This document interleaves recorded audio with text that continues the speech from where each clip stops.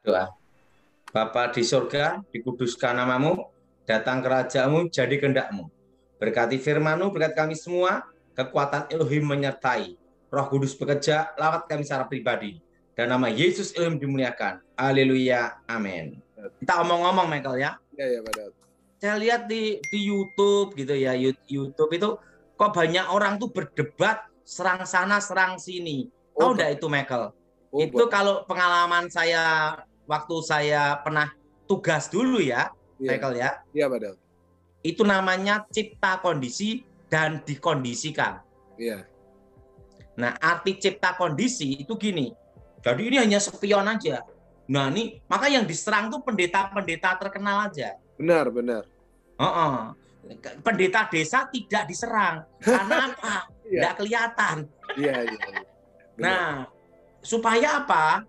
Supaya pendeta pendeta terkenal itu nanti reaksi. Nah, kalau reaksi, spion ini nanti jadi pionir gitu loh. Iya, Nah, ujung-ujungnya apa? Pencitraan. Nah, tahu enggak Michael? Iya. Kita hamba Tuhan tidak boleh cipta kondisi seperti itu. Amin. Kita ini melayani Tuhan bukan politik. Setuju, setuju, setuju. Nah, cipta kondisi itu apa? Begitu pendeta terkenal nanti lapor ini ini, wah dia nak ngomong dijolimi. Iya, Nah, i- kalau mau kritik ya, mau ngeritik, mau berdebat itu di sekolah iya, iya. atau di seminar Setuju, setuju. atau langsung ketemu face to face. Iya, Tidak di media sosial nyebut pendeta ini pendeta ini. Wah, itu itu perbuatan yang tidak terpuji. Iya. itu tidak benar. Kalau menur- menurut saya itu awal kerasukan juga. Ya, ya, ya. Harus bertobat itu, Ya, Michael. ya. Setuju. Fenomena Jadi- itu sekarang terjadi memang. Iya, saya, saya lihat kaget saya gitu. Iya. Kenapa? Mengulangi cipta kondisi dan dikondisikan ada caranya, Michael. Iya, Daud. Tahu enggak caranya? Diemin aja. Makanya saya itu, Michael, Iya. tidak ada akun. Iya, iya. Kenapa tidak ada akun? Gini ya, Michael. Iya. Itu adalah cara supaya tidak bisa diserang langsung. Kalau mau nyerang, yang nyerang ngupload. Iya, iya, Pak. Ngerti, Iya. Michael? Ngerti, ngerti saya. Gini, Michael. Kita Iya. ini bukan politik. Iya. Kita ini melayani Tuhan. Amin, amin, amin. Apa pun caranya, asal Injil diberitakan. Ya. Tetapi jangan karena ingin cari panggung, nyerang Ya. sana, nyerang sini. Setuju, setuju, setuju. Itu apa, Michael? Itu cara-cara tidak baik, Michael. Iya, Nah, itu bukan mendatangkan berkat, tapi mendatangkan perpecahan. ya, setuju. Nah, kalau saya ngomong, jangan-jangan awal-awal mau kerasukan. Kerasukan. Jadi kita ini tidak boleh Iya. menyerang ulama, menyerang agama lain, Amin. pendeta, Ya. gereja. Tidak boleh itu. Pak. Iya. Tidak boleh. I- kita ini pemberita Injil memberitakan damai sejahtera. Amin. Nah, Nah, Pak Daud, eh, yang yang Pak Daud eh, katakan itu itu sekarang muncul di Instagram kan. Itu kan ada namanya akun satir. Nah, mereka bilang loh, kita bikin gini untuk expose yang salah supaya mereka bertobat eh, ngelakuin yang benar. Nah, tanggapannya Pak Daud gimana? Gini ya, tidak ada orang yang 100% sempurna, Michael. Iya, Pak Daud. Nah, kalau Anda mengkritik, Anda menegur, langsung pribadi pribadi.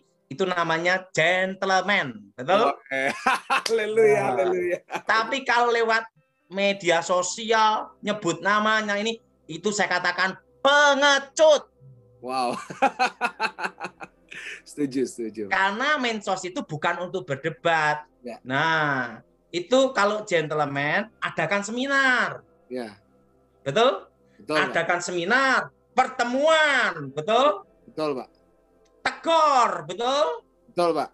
Nah, nah jadi jangan cipta kondisi. Karena gini, eh, waktu saya di pengamanan presiden dulu ya Michael ya. Iya. Saya orang sipil. Iya. Saya ini sa satu-satunya orang sipil. Iya. Di waktu itu tim saya ya Michael ya. Iya benar. Dan saya sendiri yang Kristen. Wow.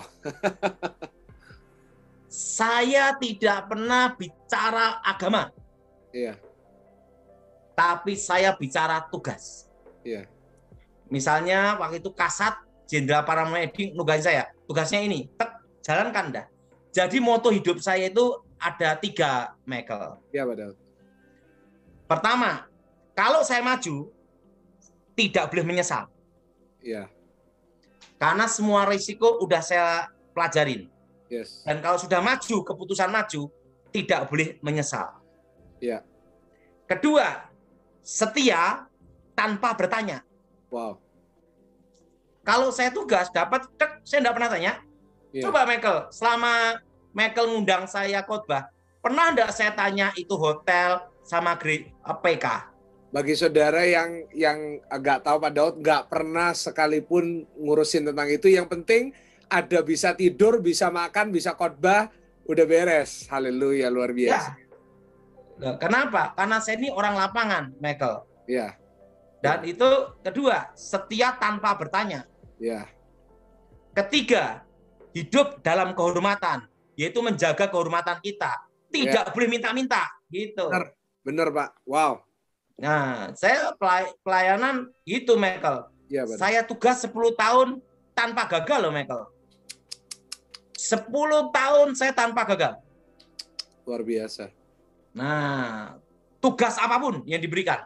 Iya. Michael perlu tahu, saksinya pendeta Gilbert lumayan dong. Iya. Saya sama Pak Gilbert itu pelayanan 25 sampai 26 tahun. Dari Saya satu-satunya tim, boleh tanya Pak Gilbert, tidak pernah digaji. Wow. Ongkos bayar sendiri. Luar biasa. Kan setahun. 25 sampai 26 tahun. Respect banget Pak Daud, luar biasa. Nah, dan saya kalau disuruh Pak Gilbert, tugas apa pun, penting saya ngomong, Pak Gilbert, penting saya diatur makannya sama tidurnya aja. Udah cukup. Jadi saya ini sampai 25 sampai 26 tahun sama Pak Gilbert, Michael. Wow. Dan saya tidak pernah pindah-pindah gereja. Benar, benar. Dari dulu. Saya Setia. sama Pak Gilbert, Gilbert terus. Iya. Kalau di Solo, saya ke gereja terdekat, gitu Michael. Iya, iya, iya. Tapi karena saya bertobat sama Gilbert, saya ikuti Gilbert terus itu Michael. Wow. Setia. Pelayanan, saya sama Pak Gilbert, maksudnya pelayanan gereja loh ya, Ya, satu ya. tim ya. Ya. Saya tuh timnya Pak Gilbert, satu-satunya yang tidak ke mana-mana saya. Iya. Tidak pernah nyebrang sana, nyebrang sini, tidak pernah. Iya. Dan tanya Pak Gilbert, pernah enggak saya kalau ditugasi bertanya? Tidak pernah saya. Iya. Bong saya pernah dikirim di Kalimantan, di tempat suku-suku pedalaman, di tempat sekolah Alkitab Inteos. Iya. Saya tidak pernah bertanya, berangkat-berangkat. Wow. Wow. Karena saya kan kalau sudah maju, tidak boleh menyesal gitu loh. Iya. Kalau mati harus terhormat gitu. Amin, amin. 26 Nah, tahun. ini pengalaman gitu ini terus. pengalaman saya, Michael.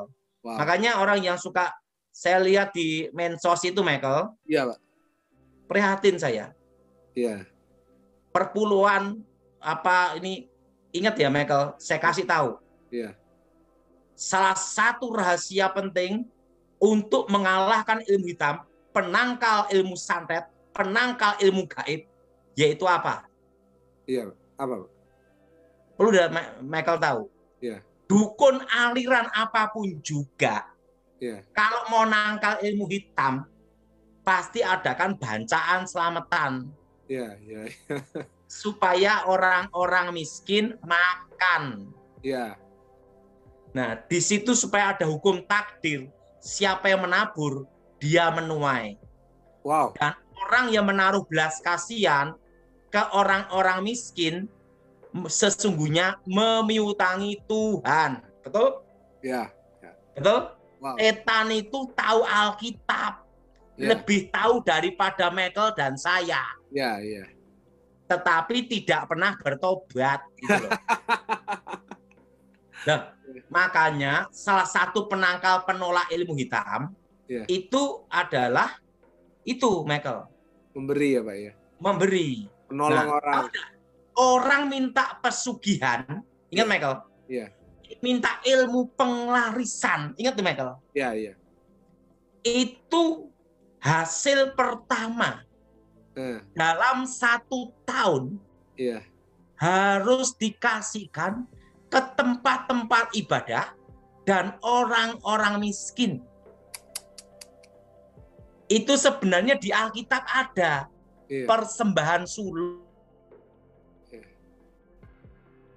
Iya Pak Daud. Maaf saudara, ini mungkin eh, agak Oh, Iya, benar Pak Daud. Michael, Iya Pak Daud. Internetnya Michael? agak putus. Ah. Ya, setan aja tahu. Iya. Nah, kalau ada anak Tuhan protes ribut sama perpuluhan, iya. setannya ketawa. Gua aja tahu, lo tahu tidak lakuin. Haleluya, haleluya. Puji Tuhan. Setan itu tahu, itu persembahan sulung itu ada. Iya, Dan masih ada lagi loh Michael. iya Daud. Dan setiap bulan harus banyak menolong, memberi tempat ibadah dan orang-orang miskin, anak yatim piatu. Bayangin Michael. Di perdukunan pun ada ya Pak. Di perdukunan itu ada. Wow. Jadi kalau ada anak Tuhan yang ngakunya hamba Tuhan, yang ngata-ngatain perpuluhan, itu kalah sama setan. Wow. Coba di dunia perdukunan pasti ada itu semua. Nah, kalau ada jadi gini ya, perpuluhan maka dia sebenarnya itu ingat itu perintah Tuhan. Betul? Betul Pak Daud. Di perdukunan itu itu ada namanya untuk ini, untuk itu, untuk orang miskin ada semua. Untuk orang-orang beribadah semua agama itu ada semua, Michael. Iya. Nah, jadi ingat, sebenarnya penolak ilmu hitam itu ada di Alkitab, Michael. Iya Daud. Pertama, ingat ada namanya persembahan sulung, Iya, yaitu perpuluhan, betul? Iya. betul. San persembahan kasih. Itu di Alkitab di Alkitab itu ada semua toh, Michael. Setuju.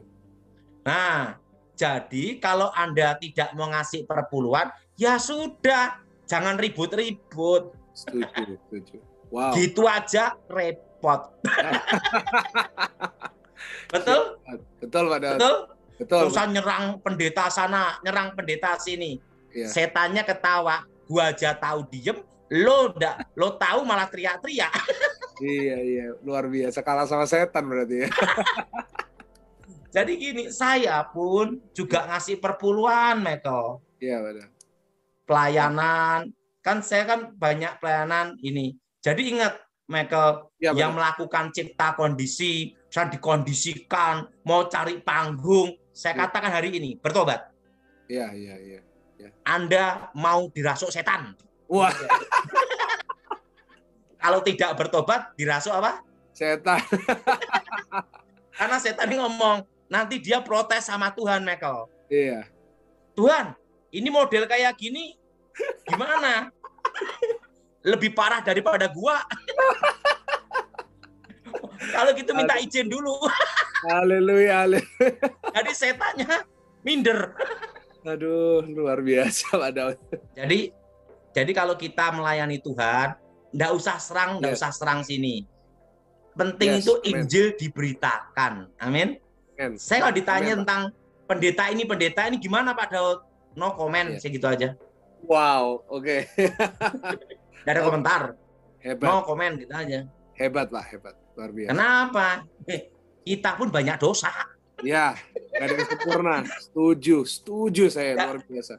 Ingat pada waktu Yesus ada orang yang berzina itu loh. Iya. Siapa di antara kamu yang tidak pernah berbuat dosa? Iya. Silakan yang melempar yang pertama. Betul? Iya, Tidak ada yang melempar. Iya. Nah,